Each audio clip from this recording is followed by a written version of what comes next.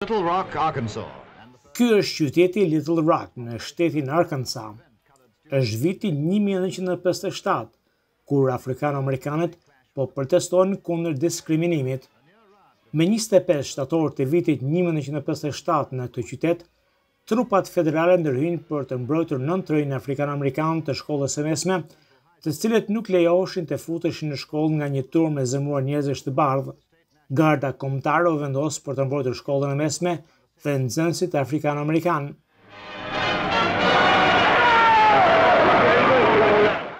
Tre vite me parë, gjykata e lartë e pati deklaruar antikushtetues rregullin të ndarë por të barabartë për shkollat publike amerikane, Linda Brown Smith ishte në klasën e tretë kur babai i saj hapi një padi në vitin një mijë e nëntëqind e pesëdhjetë e dy, që njihet sot si Brown kundër Bordit të Arsimit në Topeka të shtetit Kansas. Kjo çështje çoi në vendimin historik të Gjykatës së Lartë në vitin një mijë e nëntëqind e pesëdhjetë e katër kundër ndarjes nëpër shkolla. Në vitin një mijë e nëntëqind e pesëdhjetë e pesë, Rosa Parks, një grua afrikano-amerikane, refuzoi të lëshonte karrigen e saj në një autobus në qytetin Montgomery të Alabamës. Në atë kohë ndarje, afrikano-amerikanët duhet të uleshin në fund të autobusit. Ajo u arrestua për refuzimin. Veprimi i saj u bë simbol i zhvillimit të një lëvizje për të drejta civile.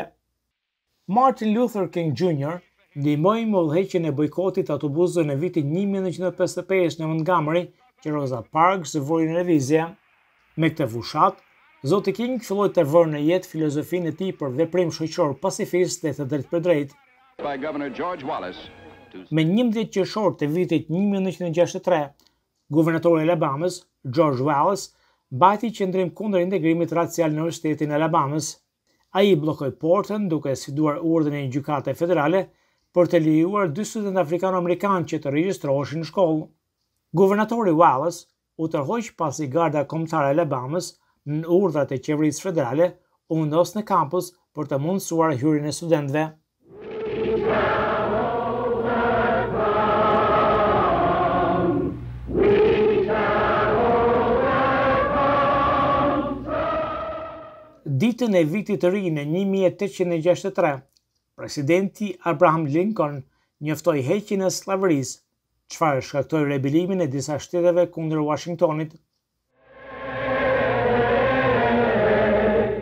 Marshimi në Uashington shënoi njëqind vjetorin nga kjo ngjarje historike dhe nevojën për më shumë punë për arritjen e lirive civile.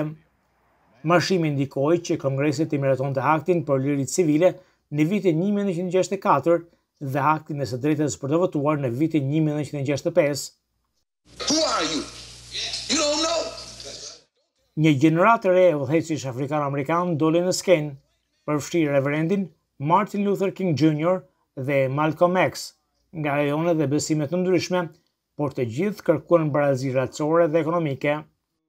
Zoti King e bazoi fushatën e mosbindjes civile tek Mahatma Gandhi, ndërsa Malcolm X mbështeti konfrontimin dhe arritjen e barazisë me çdo mënyrë të nevojshme.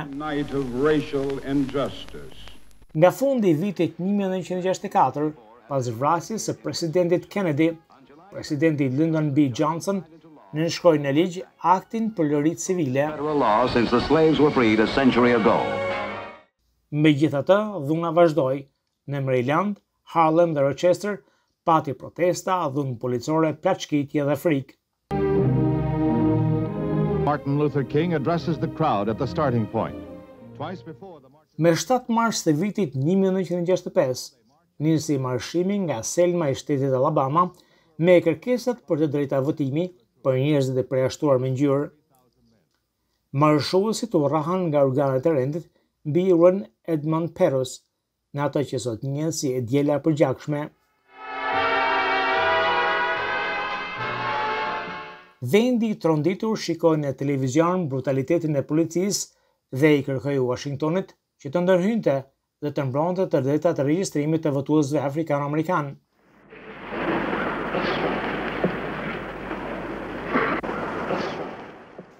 Me katër prill të vitit një mijë e nëntëqind e gjashtëdhjetë e tetë, udhëheqësi Martin Luther King u qëllua për vdekje në Memphis të shtetit Tennessee. Shtatë ditë më pas, presidenti Johnson nënshkroi aktin për liri civile, që siguroi mundësi të barabarta strehimi pavarësisht racës, ngjyrës, besimit, gjinisë, paaftësisë, statusit familjar apo origjinës kombëtare. Në korrik të vitit dy mijë e nëntëmbëdhjetë, Prokurorët federalë vendosën të mos ngrinin akuza kriminale kundër një polici të bardhë në New York në rastin e vdekjes në vitin 2014 të afrikano-amerikanit Eric Garner nga teknika shtrëngimi të qafës. Fjalët e fundit të tij ishin I can't breathe, që do thotë nuk mund të marr frymë, Një shprehje që është jetësuar në thirrje kombëtare kundër brutalitetit policor. Vala aktuale e protestave filloi pasi një polic i bardhë në Minneapolis i vuri gjurin mbi qafë afrikano-amerikanit George Floyd për afro 9 minuta. Ndërsa i lidhur me pranga, ai bënte thirrje se nuk mund të merrte frymë dhe vdiq.